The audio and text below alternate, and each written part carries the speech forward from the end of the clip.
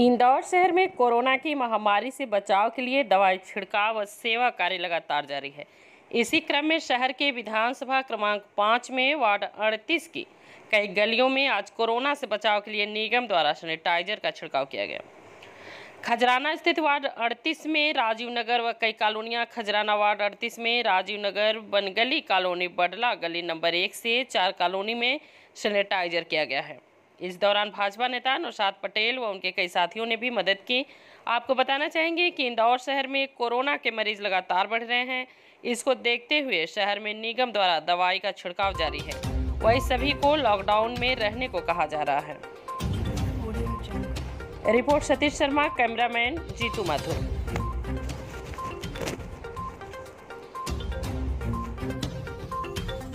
Audio.